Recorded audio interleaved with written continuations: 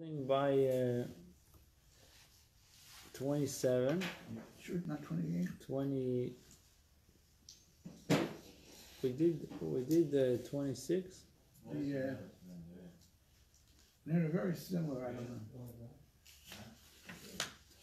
Okay, so we'll do 20, uh, 27. All right. Person is not deemed an expert amulet maker until um, three of his scripts heal three different people.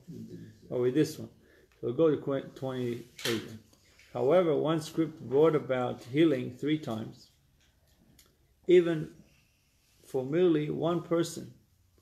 This particular amulet is considered as reliable for any person.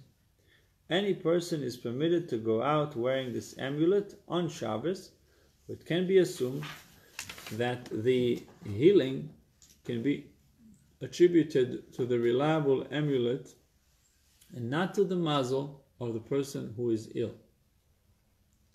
In contrast, when three different scripts heal one person on three separate occasions, none of them are deemed as reliable amulet.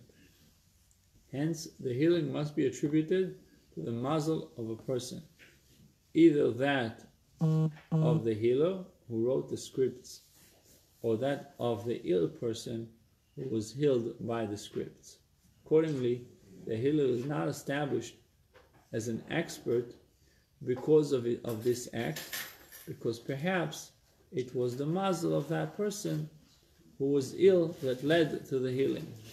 When in contrast his scripts healed three people, it can be assumed that the healing is dependent on the mazel of the healer, since his since his expertise was established with three different people. He's just a lucky guy. So therefore, that, then that, that uh, amulet you shouldn't wear.